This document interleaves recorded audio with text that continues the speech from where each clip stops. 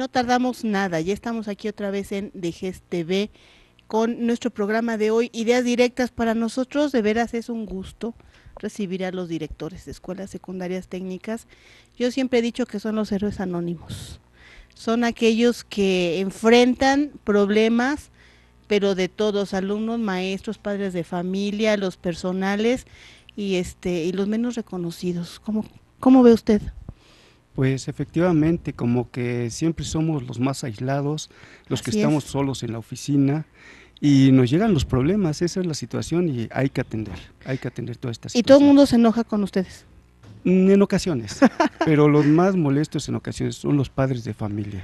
Ellos son los que nos reclaman, los que a veces piensan tener la razón. Claro. Así es. Tantas formas de ser y de pensar. Definitivo, definitivo, si cada cabecita es un mundo, dicen por ahí. Así es. Pues está con nosotros el doctor Rubén Rodríguez Hernández de la Escuela Secundaria Técnica número 47. Correcto, Juan de Dios Batis. Juan de Dios Batis. Así es. ¿Dónde está su escuela? Se ubica en la delegación Gustavo Amadero, en Avenida Insurgentes Norte, 1114, Colonia Tracamaca. Como ubicación, siempre damos la ubicación, está entre Metro Insurgentes y este lo que es la raza, en la lateral de insurgentes. Ahí nos ubicamos. El norte de la ciudad. ¿Tiene esto al, eh, le impacta de alguna manera diferente, dado que bueno, cada zona de la ciudad tiene una característica especial? ¿Cómo es el norte y cómo, eh, cómo es su escuela en ese sentido? Bueno, el norte, eh, yo que vengo de Coajimalpa prácticamente, zona fría, claro. es un poquito elevada la temperatura, gente cordial, me encontré con gente muy cordial, eh, la comunidad, pues a pesar de que estamos ahí en la unidad, a un costado de la unidad Clacamaca, eh, se comenta que es una unidad muy difícil, pero la realidad son agradables vecinos con la escuela. No he presentado ningún problema, ninguna situación. Yo creo que es la, la, comunicación que tiene uno con la gente. Y la verdad es que no me quejo de esa situación. Gente muy agradable. Me dice usted que ya tiene cinco años, que usted se estrenó como director en esta escuela. Efectivamente.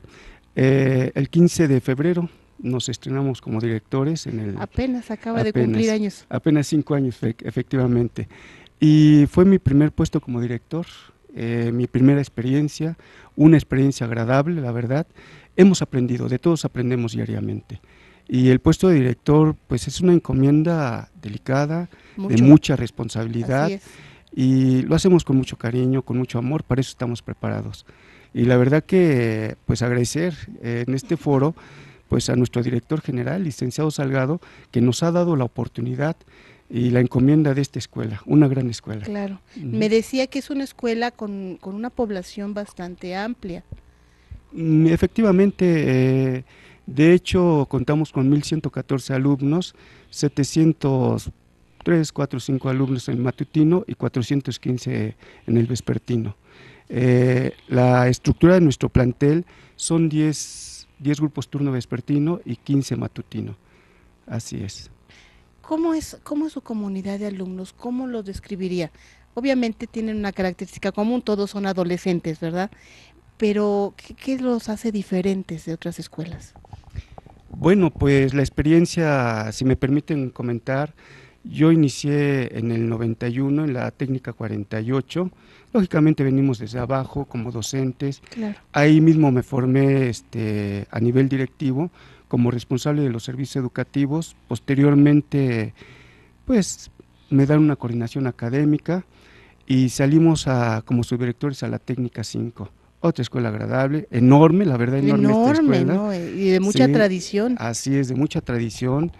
Y llego a la 47, el primer comentario que recibo ahí en la escuela es que me dicen, la comunidad es muy difícil, la comunidad estudiantil.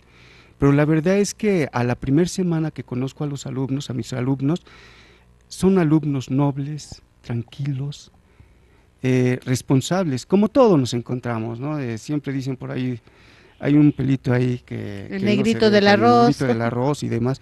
Pero en, en general mi comunidad educativa yo la considero, insisto, muy noble. Y, ¿por qué no decirlo? Hasta en un momento moldeable, manejable, maleable. ¿sí? Se dejan ayudar, que es otra parte de las que yo siempre he dicho como director y como docente. Si el alumno no se deja ayudar, no podemos hacer nada con ellos. Y en esta parte, la comunidad educativa de la 47, yo acepto que es muy formidable. ¿Cómo lo logra? ¿Cómo lo logramos? Usted hace rato tocó un punto muy importante, dijo la comunicación. ¿Cómo logra comunicarse con estos alumnos que a veces se nos eh, los imaginamos como seres de otro mundo porque tienen eh, eh, se cierran muchas veces ante los consejos, ante las lo que queremos enseñarles. ¿Cómo logra comunicarse con ellos? Pues efectivamente en las reuniones que tenemos con los alumnos acaba de decir algo usted muy importante, la adolescencia, ¿no? en donde el alumno cree tener la razón en todo, por la edad, por, la edad, lógicamente, y por ahí pasamos todos. Pero, insisto, estos alumnos eh, saben escuchar, más que nada saben escuchar, eh, y no nada más al director, a los maestros, y definitivamente siempre ha sido esa comunicación con ellos, comunicar, comunicar, y, ¿por qué no decirlo, predicar con el ejemplo? Yo creo que por ahí está la situación, predicar con un buen ejemplo y logramos que el joven, el alumno, cambie a veces su ideología. Que por ahí está la situación, que es difícil, es difícil. Pero todo un reto. Totalmente, es un reto definitivo, pero se logra, se logra con esa buena comunicación. Y vuelvo a insistir, ese predicar al diario. ¿Cómo integra a los padres en esta comunicación, en este triángulo que es tan importante, maestro, alumno, padre de familia? Eh, debo de reconocer que los padres de familia de la técnica 47, por lo mismo que son de comunidades alejadas, sí hay participación, pero realmente una comunicación directa, debo de reconocer que no es tanto. Esa salvedad cuando citamos a reunión de reportes de evaluaciones y cuando hay, ahora sí que los servicios educativos citan a los padres de familia ahí sí como que los padres de familia se alejan un tanto. ¿sí? Eh, otra situación y característica de los alumnos, si es bien cierto, son dejados por los padres de familia. No estoy hablando en su general, ¿eh? pero sí quiero reconocer que a lo mejor el 60-70% de nuestros alumnos y más turnos vespertinos están dejados por los papás. Esto es una característica creo que común, ¿no? De como de nuestra época, nuestra sociedad está como de eh, no, yo no quisiera decir abandonando, pero sí está dejando un poco solos a los chicos.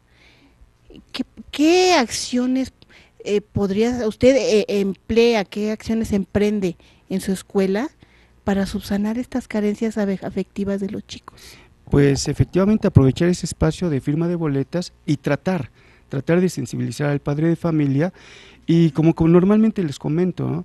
Eh, y les hago la pregunta a mis papás, ¿quiénes están educando a, nuestros hijos en la, en la casa? Pues normalmente es la computadora, el celular, los medios electrónicos, y que ahí están sumidos nuestros alumnos, ¿no? Cuán importante es eh, que el padre de familia reflexione sobre esa situación y sabemos que este problema, como lo acabamos de decir, es social, porque hay que salir a trabajar papá y mamá, y los chicos están solos en casa. ¿no? Entonces, en esa parte, perdón, en esa parte es lo que les comentamos a los papás, den ese tiempo, den ese espacio. Ya sabemos que todos llegamos cansados del trabajo, de donde estemos, pero con 5 o 10 minutos que apapechemos a nuestros hijos, una palmadita, un abrazo, el decirles cuánto te amo, cuánto te quiero, logramos demasiado. Y yo siempre he comentado, con 5 o 10 personas que cambien y logremos esto, vamos ganando. Claro, por supuesto, sobre todo en escuelas con más de mil alumnos como la suya. Y lo que yo quería preguntarle, ¿qué papel juega el maestro entonces? Cuando hay estas carencias afectivas, cuando papá y mamá físicamente no están y los, y, los maestros están allí, no sé, seis, siete horas diarias con ellos. Eh, no se crea, es un batallar también el comentarlo los padres de familia. Recuerdo cuando llegué a la técnica 47, yo les decía a los maestros, educar con amor. Alguien por ahí esbozó una sonrisa y dice, bueno, pues es que cómo vamos a educar con amor, ¿no? Pero si es bien cierto, si el alumno carece de todo este apoyo, cariño, amor de los padres de familia, es difícil transmitirle al maestro este sentido también, ¿no? Como que el maestro nada más se para en el aula, doy mis conocimientos y parto mi clase y me, olvido de esa parte, ¿no? De esa parte afectiva.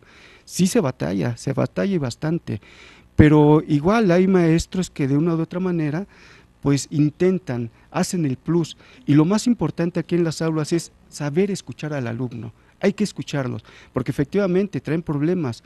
Y como les decimos a los papás, ¿quién escucha a nuestros hijos, a, sus, a, nuestros alumnos? Normalmente, y con todo respeto, los bandoleros, los claro, claro. y por ahí se desvirtúa y se nos van. Ese es el problema que está ahorita realmente en nuestra adolescencia, la sociedad, estamos viviendo en la actualidad. Porque papá y mamá ya no escuchan, ya no tienen el tiempo.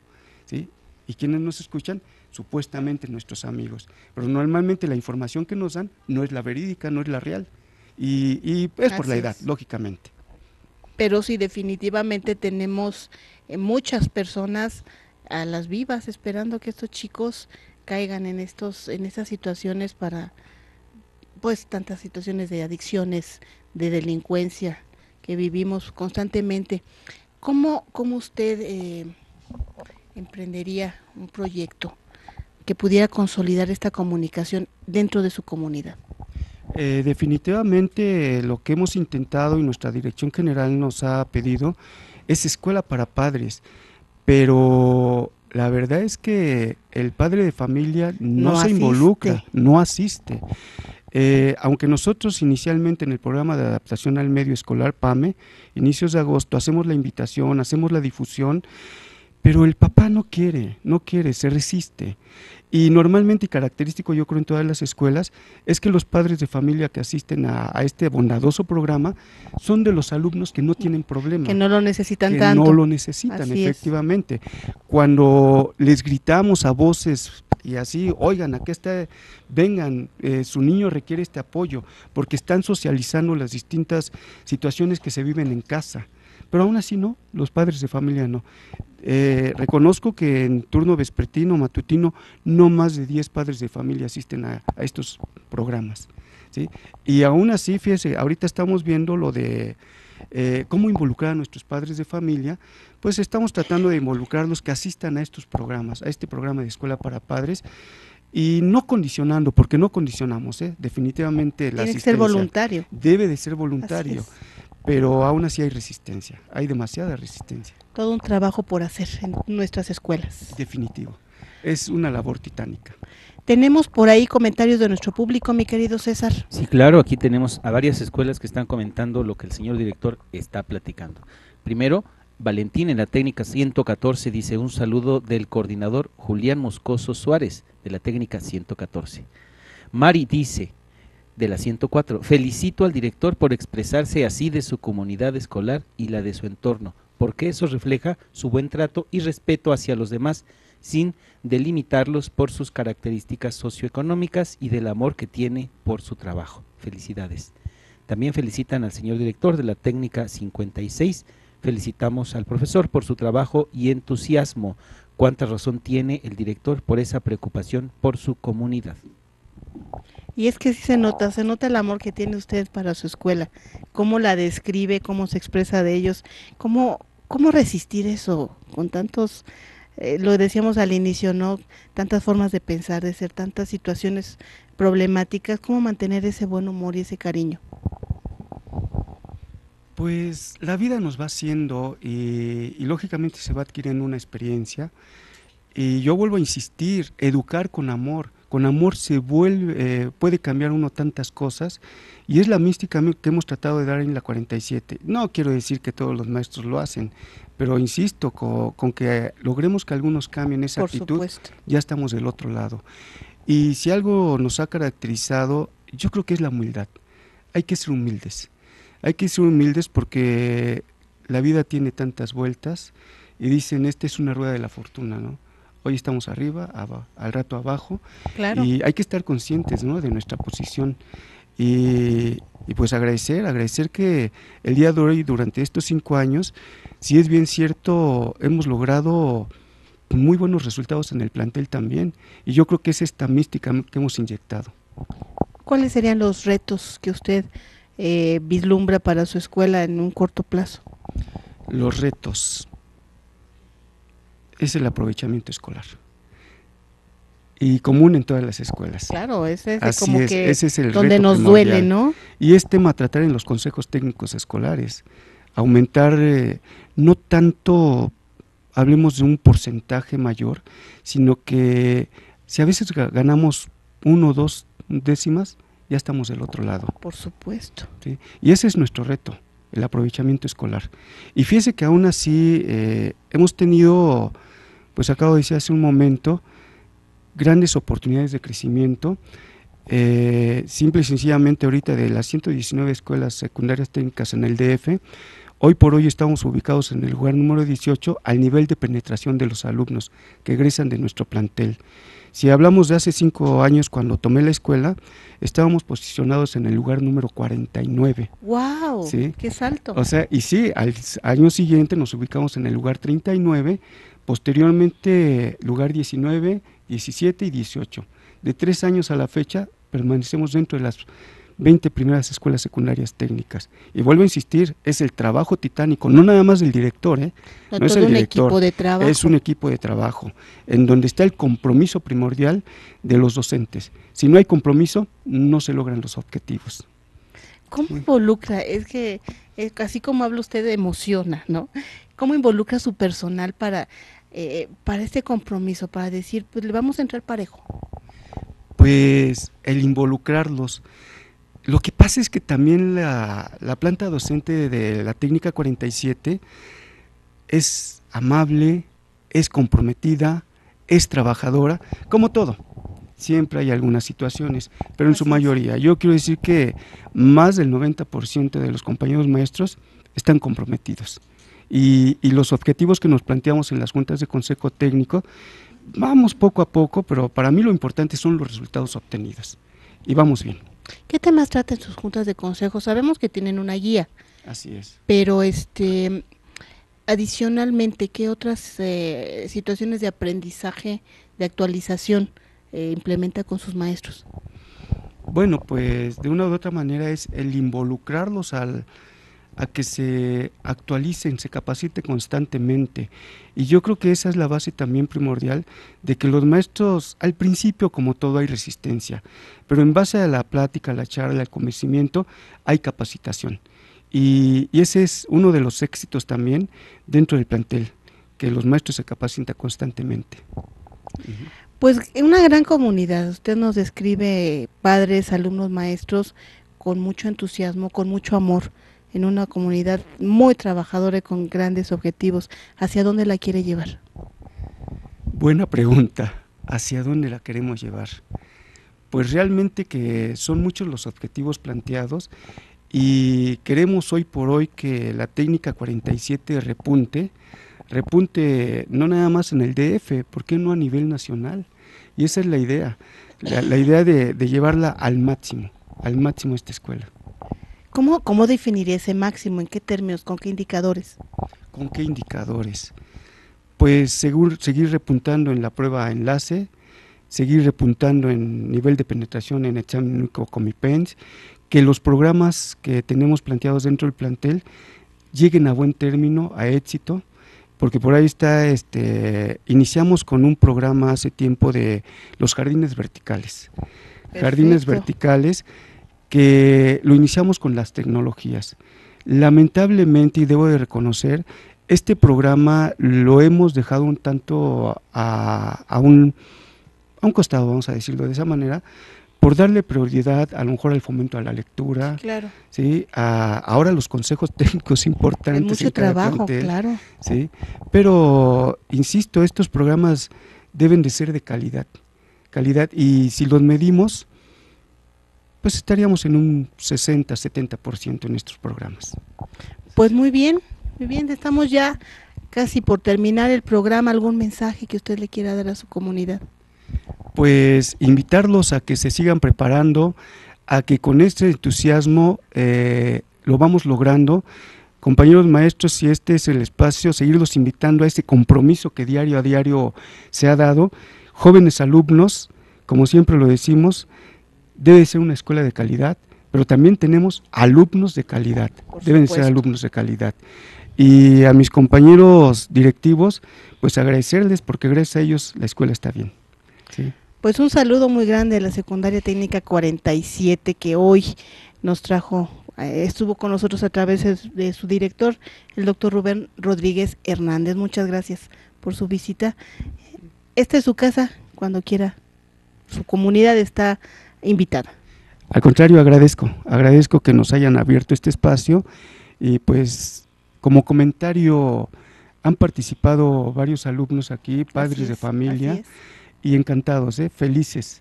¿sí? Simplemente hace no más de 15 días, padres de familia de nuestra escuela estuvieron presentes y agradables, salieron felices y van a regresar. Amenazan con regresar. ¿eh? Pues que no amenacen, que nos cumplan. Perfecto. Esta es su casa, como siempre. Gracias, Muchas gracias. gracias. a todos ustedes. Agradecemos también a la comunidad de la Secundaria Técnica 47 que nos acompañó, pero no se vayan. Ya saben que dejamos el plato fuerte hoy al final. En la cereza del pastel está Yajaira Carmona ya con nosotros. Diviértete en la cocina. Hoy nos tiene salpicón de res. ¿Qué tal, eh? No se vayan. ¿Quieren prepararlo? Yajaira nos dice cómo aquí en DGS TV te ve aprendiendo. Regresamos rapidísimo.